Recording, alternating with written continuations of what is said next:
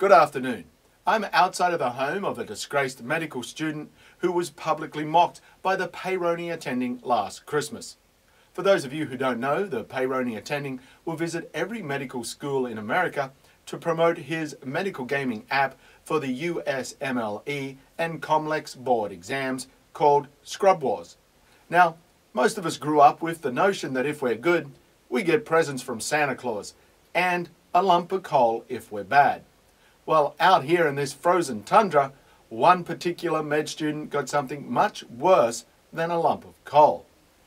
This is a live action photo of the Peyronie attending in traditional Santa garb, but still wearing his white coat and stethoscope, spreading his bare buttocks and actually defecating into the chimney of one of his former students. This photo was captured by the paparazzi and labeled, Your Christmas bonus is coming. As if this was not appalling enough. He does this on Christmas Eve to the dismay of local citizens, which you can see here to the right in the photo.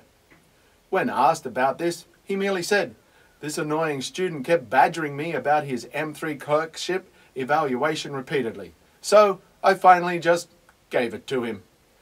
This sick act has disgusted many medical students, but amused the rest of the world as this pic has definitely gone viral. I guess when it comes to promoting Scrub Wars, at least for medical students, the defecation has met the oscillation. More details to be found at scrubwars.com. Tell the Peyronie attending what you think of this vulgar actions through their social media pages. I'm James Mahoney, and this concludes our special report.